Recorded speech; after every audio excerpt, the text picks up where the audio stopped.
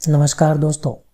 ये है capital budgeting का पे बैक पीरियड का मेथड का क्वेश्चन और ये जो क्वेश्चन है, वो इस सीरीज़ के हिसाब से क्वेश्चन नंबर चार है। इसमें हम सीखेंगे कि पे बैक पीरियड किस तरीके से कैलकुलेट होता है, किस तरह के केस में किस तरीके से कैलकुलेट होता है एग्ज़ाम्पल के साथ। तो ये आप बहुत आसानी से इसको अभी थोड़ी देर में समझ जाएँगे।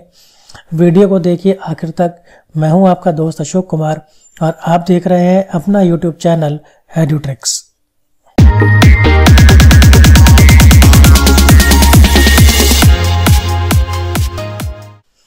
ये है हमारा कैपिटल बजटिंग का क्वेश्चन नंबर चार। ये पहला केस है when annual cash inflows are equal मतलब हर साल आपको जो पैसा मिल रहा है, किसी एक मशीन या प्रोजेक्ट में पैसा इन्वेस्ट करने से वो हर साल आपको बराबर ही पैसा मिल रहा है। सेम अमाउंट इक्वल अमाउंट आपको मिल रहा है। एग्ज़ाम्पल हम देख लेते हैं। भाई कैश आउटफ्लो हमने किया, यानी इन्वेस्टमेंट हमने किया है एक लाख रुपए का। और इससे हर साल हमें मिल रहा है बीस हज़ार रुपये एनुअल कैश इनफ्लो तो इससे हमें कैलकुलेट करना है पे बैक पीरियड हमारा क्या होगा। दोस्तों, अगर आपने कैपिटल बजटिंग की कॉन्सेप्ट वाली वीडियो नहीं देखी है तो आप उसे देख लें। उसका लिंक मैं आपको ऊपर दे देता हूँ और डिस्क्रिप्शन में भी दे देता हूँ। कॉन्सेप्ट वाली वीडियो देखने के बाद ये प्रैक्टिकल देखना आपको बहुत ही आसान लगेगा। तो फार्मूला हमारे पास यहाँ पर रहता है। इस केस के अंदर initial outflow divided by annual inflow मतलब जितना पैसा हमने लगाया वो ऊपर, और फिर जितना पैसा हमें हर साल मिल रहा है वो नीचे। तो इसे आप अगर आप डिवाइड कर देंगे तो उससे आपको मिल जाएगा पे बैक पीरियड पाँच साल का। सिंपल सी बात है ना? एक लाख रुपए आपने लगाए और हर साल आपको बीस हज़ार रुपये मिल रहे हैं। तो ये एक लाख रुपए आपके पाँच साल में कवर हो जाएँगे तो पाँच साल हो गया आपका पे बैक पीरियड आइए अब देखते हैं दूसरा case when annual cash inflows are unequal अब आपको हर साल बराबर पैसा नहीं मिलेगा। बिज़नेस में ऐसे थोड़ा ना होता है। आपने किसी मशीन को लगाया और वो मशीन आपको हर साल बिल्कुल इक्वल अमाउंट ही आपको दे रही है। अमाउंट तो ऊपर नीचे होते रहते हैं बिज़नेस में तो ये उस तरह का केस है। और उसके अंदर भी ये पहला केस है। दूसरा केस इसके बाद आएगा तब आप डिफरेंस समझ जाएँगे दोनों केस में डिफरेंस क्या है। लेकिन जनरली जो आ, पेपर में आता है तो वो इसी तरह का क्वेश्चन आएगा जो अब आपके सामने आएँगे।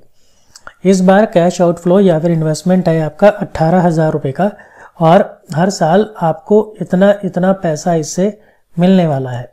मतलब पहले साल इससे आपको मिलेगा आठ हज़ार रुपये दूसरे साल इससे मिलेगा आपको छः हज़ार रुपये तीसरे साल मिलेगा चार हज़ार, चौथे साल मिलेगा दो हज़ार रुपये ये आपका क्वेश्चन रहेगा।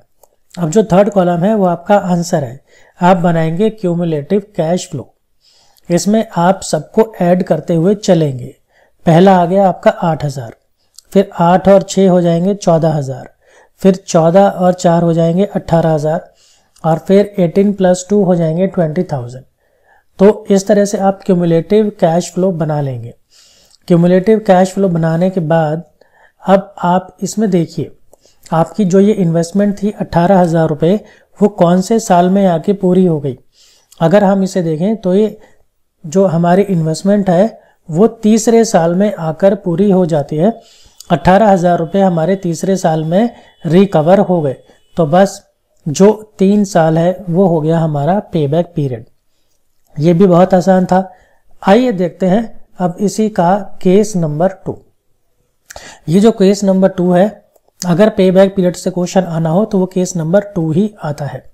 तो केस नंबर टू को ध्यान से देखिए। तो हमारे पास वही सेम कैलकुलेशन है। कैश आउटफ्लो यानी पैसा हमने लगाया है अट्ठारह हज़ार पाँच सौ रुपये और ये चार साल का आपके पास कैश फ्लो है और फिर आपने इसका बना दिया क्यूमुलेटिव कैश फ्लो अब अगर हम देखें तो जो हमारा अट्ठारह हज़ार पाँच सौ का इन्वेस्टमेंट है, वो अट्ठारह हज़ार और बीस हज़ार के बीच में कहीं आएगा। अब इसके अंदर जो डिफरेंस है वो यही है। फ़र्स्ट केस के अंदर तो आपकी अट्ठारह हज़ार का इन्वेस्टमेंट था और पूरा का पूरा अट्ठारह हज़ार आपका तीन साल में पूरा हो गया।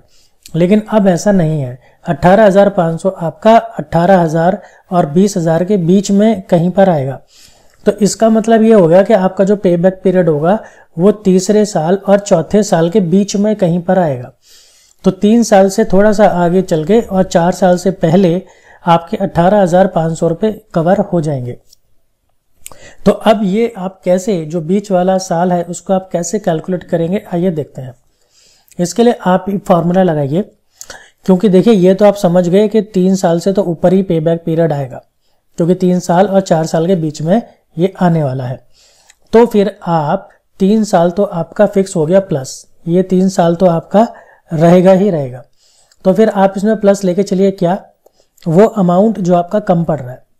अट्ठारह हज़ार पाँच सौ आपकी इन्वेस्टमेंट है और इससे ठीक पहले तीन साल पे आपके अट्ठारह हज़ार रुपये कवर हो गए। अब आपके यहाँ पर पाँच सौ रुपये रह जाएँगे, जो कवर होने से बचे हैं। और नीचे आएगा इन दोनों का डिफरेंस बस इतना आपको ध्यान रखना है। अब इसके बाद क्या होगा? इसको आप सॉल्व करते हैं तो आपको मिलता है three point two five years अभी ये आपको ठीक से पूरा महीनों में भी बताना है। तो उसके लिए आप क्या करिए? देखिए थ्री तो हो गया तीन साल, और जो पॉइंट टू फाइव है, उसको इस तरीके से आप महीनों में कन्वर्ट कर सकते हैं।